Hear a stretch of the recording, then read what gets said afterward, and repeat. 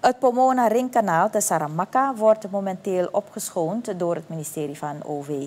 Het Pomona landbouwgebied kampt al jaren met een ontwateringsprobleem. OW-minister Riyad Noor Mohamed heeft zich recentelijk ter plekke georiënteerd. Hoewel geheel Pomona momenteel wordt opgeschoond, is een duurzame oplossing volgens de bewindsman onbetaalbaar. Er wordt daarom gekeken naar een semi-duurzame oplossing.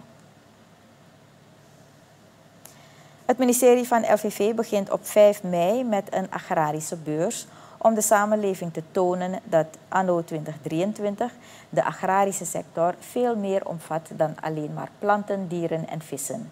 De beurs met als thema culturele diversiteit in de agrosector zal drie dagen duren en moet ook gezien worden als een stimulans als het gaat om local content.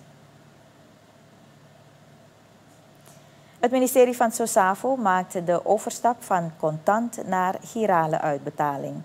De eerste groep betreft cliënten die geregistreerd staan als financiële bijstand zwakke huishoudens. Hiervoor zullen de Monicarta vanaf deze maand mei in werking treden en zullen de uitkeringen maandelijks via de bank plaatsvinden en dus niet meer via de verschillende kassa's van Sosavo. Ten slotte zal via deze Monicarta ook de koopkrachtversterking worden uitbetaald aan deze cliënten die financiële bijstand aan zwakke huishoudens ontvangen en wel over de periode januari 2023 tot en met maart 2023.